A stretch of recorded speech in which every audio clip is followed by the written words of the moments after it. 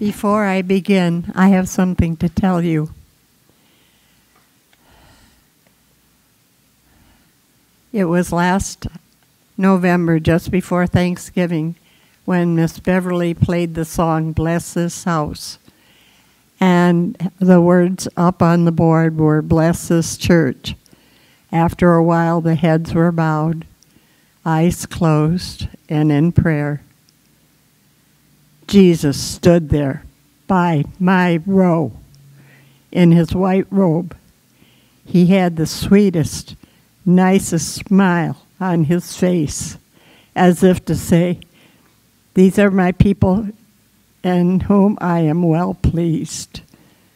I thank God for this vision. And now we go on to the reading. Isaiah 48, 12 through 16 the Lord's call to Israel. Listen to me, O Jacob, and Israel, whom I called. I am he. I am the first. I am the last. My hand laid the foundation of the earth, and my right hand spread out the heavens. When I called to them, they stand forth together. Assemble, all of you, and listen. Who among them has declared these things? The Lord loves him he shall perform his purpose on Babylon, and his arm shall be against the Chaldeans. I, even I, have spoken and called him. I have brought him, and he will prosper in his way. Draw near to me. Hear this. From the beginning, I have spoken in secret. From the time it came to be, I have been there. And now the Lord God has sent me and his Spirit. This is the word of the Lord. Thank you, Lois. We're now going to be looking to the New Testament, to the Gospel of Matthew, chapter 28. And in this 28th chapter of Matthew, we're going to be looking at verses 16 through 20. Let us pray. Loving God, we come to you this Lord's Day and ask that you'd shine within our hearts the pure light of your divine knowledge Open the eyes of our minds, along with our hearts, that we may understand and embrace the message of Scripture being read and proclaimed this day. In Jesus' name we pray. Amen. A reading from the Gospel of Matthew, chapter 28, verses 16 through 20, titled The Great Commission. Now the eleven disciples went to Galilee, to the mountain to which Jesus had directed them. And when they saw him, they worshipped him but some doubted. And Jesus came and said to them, All authority in heaven and on earth has been given to me. Go therefore and make disciples of all nations, baptizing them in the name of the Father, and of the Son, and of the Holy Spirit, teaching them to observe all that I have commanded you. And behold, I am with you always to the end of the age. This is the word of the Lord.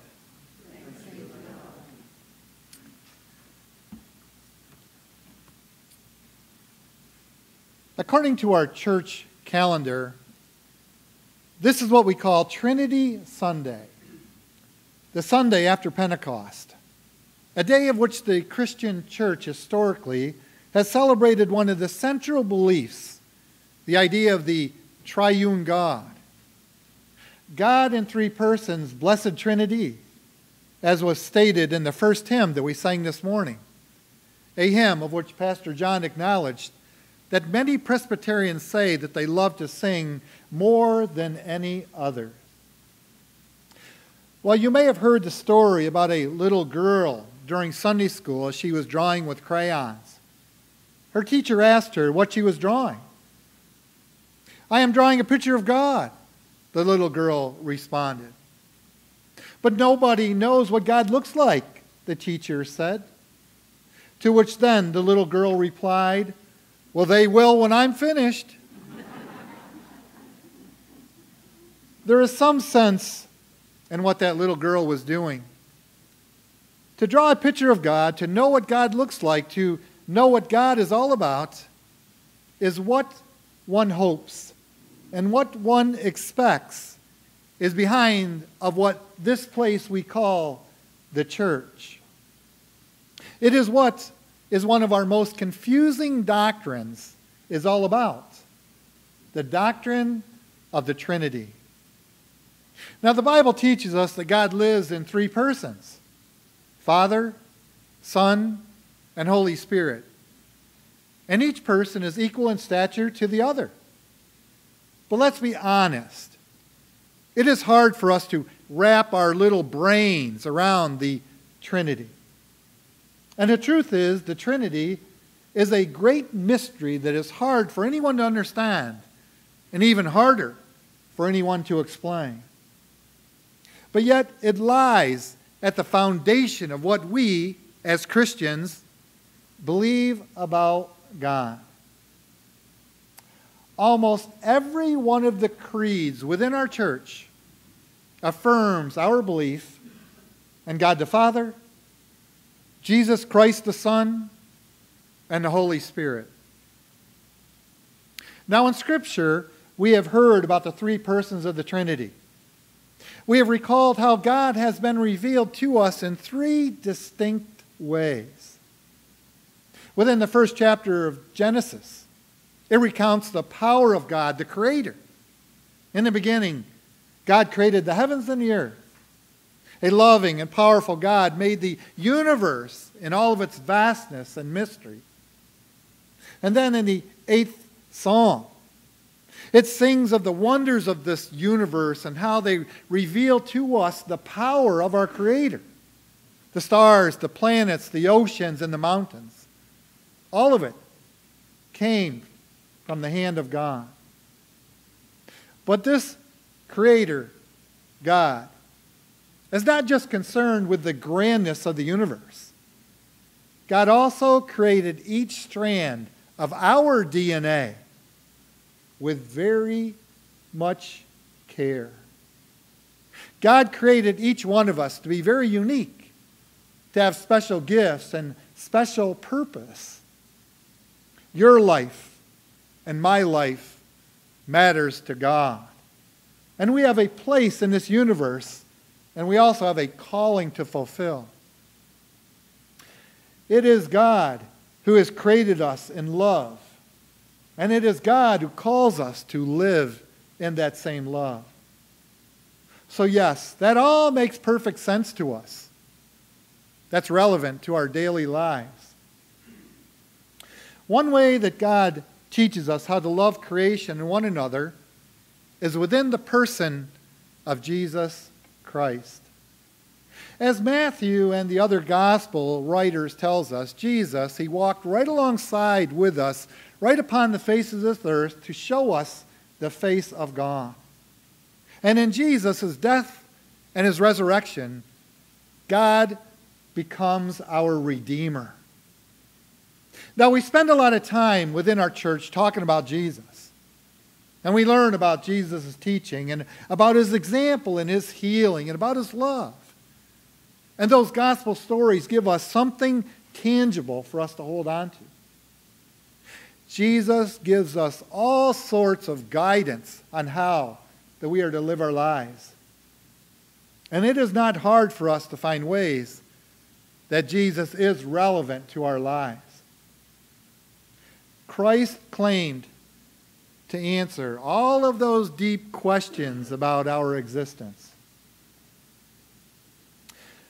Now, at one time or another, we all question about what life is all about. Have you ever gazed up at the stars on that really pitch dark black evening and wondered who put them there? Or have you ever seen a sunset and thought about life's biggest questions? Who am I? Why am I here? Where am I going to go after I die? And although many philosophers, along with religious leaders, have offered their answers to the meaning of life, only Jesus the Christ proved his credentials by rising from the dead. And now, what about the Holy Spirit? For many of us, the Spirit is very relevant to our daily living. We recognize the Spirit's activity all around us and those little nudges to call someone or to possibly text someone or possibly to pray for someone. In the peace that surrounds us when we're undergoing surgery. The feeling that one gets when they're knitting or crocheting a prayer shawl. That inspiration that comes when we're teaching Sunday school or possibly leading a small group. A devotion during one of those women's groups or those men's groups that really touches us. Or during the gathering of our grief share program that takes place here. Or in the time of praying and one of our community meetings where truth is spoken and consensus is reached. Many of us know the Spirit as our sustainer, know the Spirit as our inspirator, knows the Spirit as our daily guide. So, yes, we see daily evidence of God our Creator. We strive to follow the concrete example of Jesus the Christ. And we look for signs for the Holy Spirit around us. Individually, the three persons of the Trinity make sense to us. But what does it mean for the three to be one? the one to be three. God the Father, Son, and Holy Spirit. One and three in one. What power can this mysterious doctrine have to us? Well, there's something beautiful and very powerful about a God in three persons. And there is something God can reveal to us when we ponder this mystery of the Trinity. During my seminary studies, I had to study art. Now, I have to admit to you this morning that this is an area that I am not gifted in whatsoever, nor do I know much about. Well, I was introduced during that time of study to religious icons. Now, an icon is not a painting in the sense that we normally regard pieces of art, although it is an image that is painted. Icons are religious images that hover between two worlds, putting into colors and shapes what cannot be grasped easily by our intellect. What they do is they render the invisible visible. So, icons are the visible equivalents of the divine scriptures, religious pictures that convey inner spiritual meaning of their subjected matter. Now, in the Hermitage Museum in St. Petersburg, Russia, there's an icon of the Holy Trinity painted by Andrei Rublev, sometimes around the year of 1412 to 1410. And now you can see that on the screen. Now, in Andrew Rublev's icon, the persons of the Holy Trinity are shown in order in which they are confessed. The very first figure is the first person of the Trinity. God the Father. The second, the middle figure, is God the Son. And the third figure is God the Holy Spirit. Now, all three figures have staffs within their hands as a symbol of their divine power. Now, the very first figure, shown on the left, is vested in a blue undergarment which predict, per, depicts his divine celestial nature, along with a light purple outer garment, which attests to the unfathomable nature and the royal dignity of this figure. Behind him, along with being above him, is a tower of a house. Well, this image of the abode has a symbolic meaning. You see, that house signifies God's master plan for his creation. While the fact that the house towers above the first figure shows him to be the head or the father of this creation. The same fatherly authority is seen in his entire appearance. His head is not bowed, and he is looking at the other two figures. His whole entire demeanor, the expression on his face, the placement of his hands and the way that he is sitting all speaks of his fatherly dignity. Now, the other two figures have their heads inclined and their eyes turned toward that very first figure with great attention, as though conversing with him about the salvation of all mankind. The second figure is placed right in the middle of this icon. Now, this placement is determined by the position held by the second person within the Trinity itself. Above his head extends the branches of an oak tree. The vestments of the second figure correspond to those which the Savior is usually depicted. The undergarment is a dark crimson color which symbolizes the incarnation, while the white blue outer robe signifies the divinity and the celestial nature of this figure. This second figure is inclined toward the first figure, as though in deep conversation. The tree behind him serves for us as a reminder of the tree of life that was standing within the Garden of Eden, and of course, of the cross itself. Now, the third figure on the right is the third person of the Trinity, the Holy Spirit. His light blue undergarment and smoky green outer garment represent heaven along with earth and signify the life giving force of the Holy Spirit, which animates everything that exists. By the Holy Spirit, every soul lives and is elevated in purity. And this elevation in purity is represented in this icon by a mountain above that third figure. On the table is a chalice. Now, what this image reveals, I believe, is that in God there is a living, loving community. From the beginning of time, from the beginning of creation until the end of the age, God the Father, God the Son, and God the Holy Spirit have existed as a holy community of love and of grace. To put it another way, God is community. So as we reflect on the Trinity, let's not let it be just a vague and dry doctrine to us. Let's not write it off as something that's just too complicated for us to understand. Let's not leave it to all those experts and seminary professors to debate about. Let's think about the community of love that has been within God since the beginning of time. And let's accept God's invitation to join Him within that community. As we see real, concrete examples of how God has created us, redeemed us, and sustained us, let us too respond in love and gratitude.